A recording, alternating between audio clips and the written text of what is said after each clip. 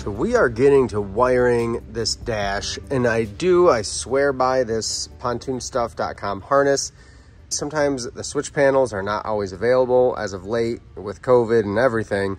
Uh, it's been hard to get all those accessories. So I'm using their harness and whenever possible, I'm gonna use their switch panel too because it just plug and plays. In this case, I've cut everything free and we're gonna wire it to this switch panel. This is how it comes. Uh, actually just got this off of Amazon. They're about 50 bucks. This is a four switch. I think it's a little bit cheaper. Uh, it's just a real basic. It has a 12 volt and a USB plug. And this is where people usually freak out. They look at the back side. This is how it comes in the box. And they do give you a little, I guess they call it a wiring diagram. So we've got our power in. We have two 15 amp fuses that are in line that are going to run power to the USB and power to your 12 volt charger. And then those jump to the switches. And then we also have a yellow wire. That's actually a ground. That's a negative. Uh, that's going to be your lower dash light. So that's if you want those lights to just stay on. And then that blue is to keep those lights on. I don't want my lights on all the time. In fact, the way that this comes, you have those red power wires, then you've got a yellow, that's a ground for the dash lights. The blue is power for the dash lights, and then black is your main ground. So actually, to run this, I tested on a battery, and I've rearranged mine. I don't want all these lights, these blue indicator lights on all the time. I only want them to come on when I flip the switch on. Also, if you hook straight power to this the way it's wired, this little USB will light up and will stay on all the time, I guess, unless you had a battery switch. So we're gonna put this one back in the box because I've already opened another one and I'm gonna rearrange things here. So I'm actually going to omit the yellow ground and that blue wire because I don't want those to be on all the time. I don't want these switches on and I don't want my USB light on. So what I'm gonna do there, look at mine versus the brand new one. So the brand new one, this power cord runs to the USB, which is why it's always got power and that back LED is always on. I'm gonna unhook that from there and my main power is gonna run to this first switch. Then I'm gonna run an accessory wire from, these are all where my accessory wire power wires are gonna, are gonna come off.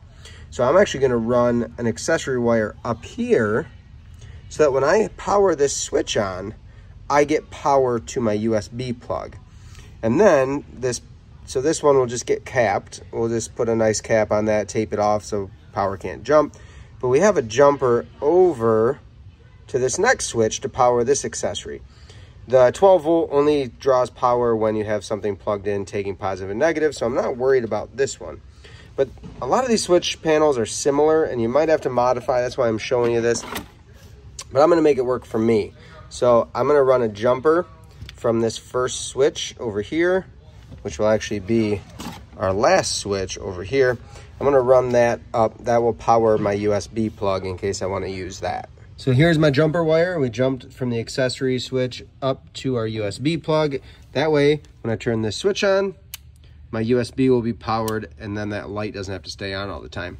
So now I'm gonna cap off this yellow and the blue We'll put butt splices on those and just leave them because we're not going to connect to them.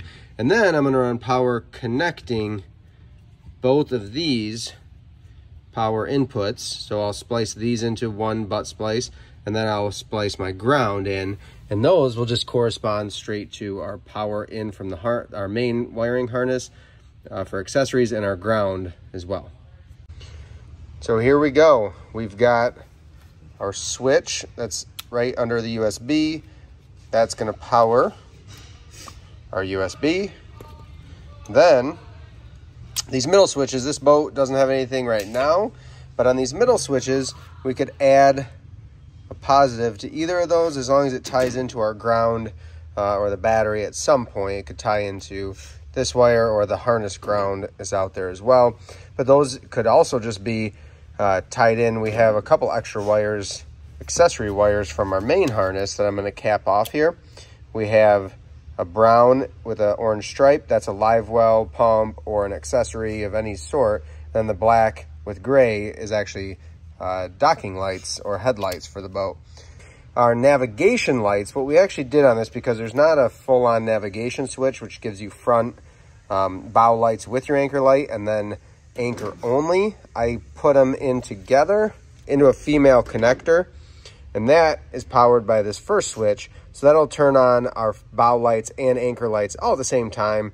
Uh, they're LEDs, so it's not going to put a huge drain on the system if you left them on for a while together if you were anchored without the boat moving. Not a big deal. I'd rather have too many lights, I think, than not enough. I did go ahead and ran the docking lights or headlights while you're in here, so it's ready to go if he wants to add that. And then all we got to do is cap off the docking lights up front. Just leave them accessible, and at least that way they can be used, uh, but they won't draw power. If that switch stays on, uh, they won't actually be hooked to anything, but they'll be accessible for future use. And that is installed on the dash. Again, USB, our navigation lights, docking lights, and then there is an accessory wire. Those are just capped off uh, back in the boat that could be used later. So that's this switch panel being used with the pontoonstuff.com harness. All in all, pretty simple, pretty straightforward, and it's gonna work really well for this application.